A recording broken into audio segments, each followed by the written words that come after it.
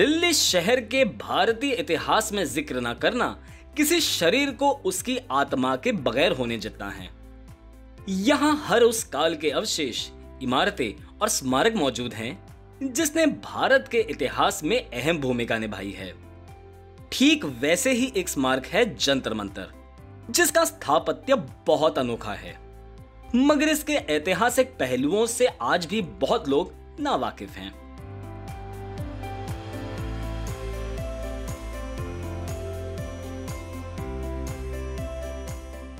मध्य दिल्ली में मौजूद Connaught place के करीब जंतर मंतर दिल्ली के सबसे पुराने वेदशालाओं या ऑब्जर्वेटरी में गिनी जाती है। सन 1724 में जयपुर के महाराजा जय सिंह द्वितीय द्वारा निर्मित जंतर मंतर दो शब्दों से बना है। जंतर यानी यंत्र और मंत्र यानी गणना करना। इनको मिलाकर देखें तो इनका अर्थ है गणना करने वाला यंत्र। यहाँ पर चार प्रमुख यंत्र हैं। सम्राट यंत्र, राम यंत्र जय प्रकाश यंत्र और मिश्र यंत्र। इनके अलावा यहाँ और भी ऐसे कई यंत्र हैं, जो समय मापने, मौसम का अनुमान और ग्रहों के बारे में जानकारी प्राप्त करने हेतु प्रयोग किए जाते थे। आइए आपको इसकी ज्ञानवर्धक यात्रा पर ले चलते हैं।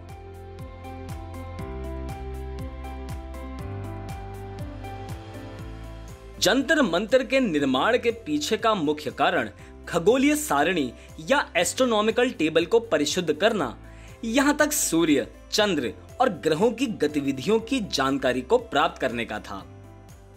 इसके निर्माण का मुख्य बीज भारतीय खगोल विदों के बीच उनके तर्क में हो रहे अंतर से बोया गया था।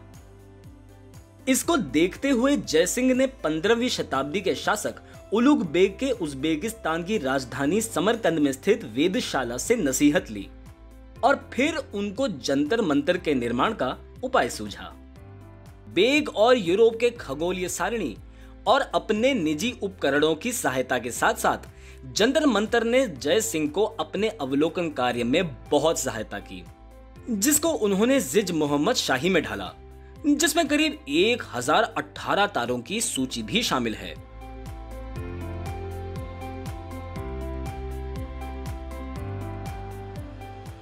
जंतर मंतर को साकार करने के लिए जय सिंह ने ग्रीस में हुए खगोलीय प्रगति को ईसाई पादरियों के माध्यम से जाना। वहीं उन्होंने बेबीलोन और चीन में प्राचीन वेदशालाओं के बारे में जानकारी प्राप्त की। साथ ही साथ इन्होंने टोलेमी और यूक्लिड जैसे दिग्गज खगोल वेदों के कार्यों को भी पढ़ा। इनसे मिला ज्ञान जंतर मंतर के निर्माण कार्य में जयसिंह के लिए बहुत मददगार साबित हुआ। दिलचस्प बात यह है कि जंतर मंतर के निर्माण के बाद जब कई यूरोपीय पादरी और चीनी खगोलविद यहाँ आए, तब उन्होंने सामूहिक तौर पर इस बात को माना कि जंतर मंतर सबसे स्पष्ट खगोलीय वेदशाला या एस्ट्रोनॉमिकल ऑब्जर्वेटरी है।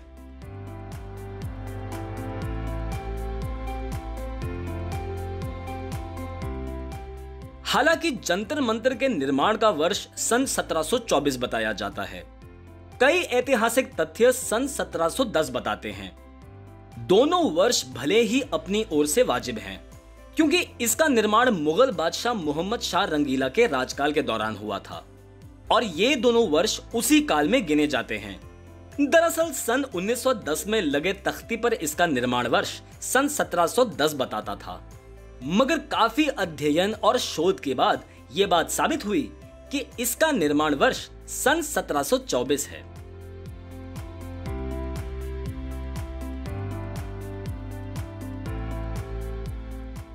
क्या आप जानते हैं कि भारत में एक नहीं, बल्कि पाँच जंतर मंतर हैं? दिल्ली के साथ साथ इन जंतर मंतर का निर्माण जयपुर, मथुरा, वाराणसी और उज्जैन में सन 1724 से लेकर सन 1734 तक किया गया था। इनके निर्माण का कारण इनकी ऐतिहासिक, राजनैतिक और सांस्कृतिक महत्वता थी। इनमें से मथुरा का जंतर मंतर सन अठारह की क्रांति के दौरान क्षतिग्रस्त हुआ। और वहीं जयपुर का जंतर मंतर सन 2010 में यूनेस्को की विश्व धरोहर सूची में दर्ज हुआ।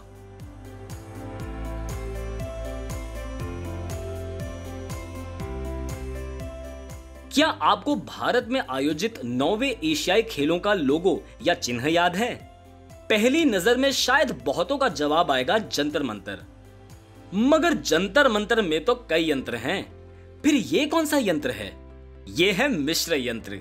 जो 1982 में आयोजित एशियाई खेलों का ऑफिशियल लोगो या औपचारिक चिन्ह बना। सन 1982 में ये डाक टिकटों और 10 और 25 पैसे और यहाँ तक दो और सौ रुपयों के सिक्कों में भी देखा गया था।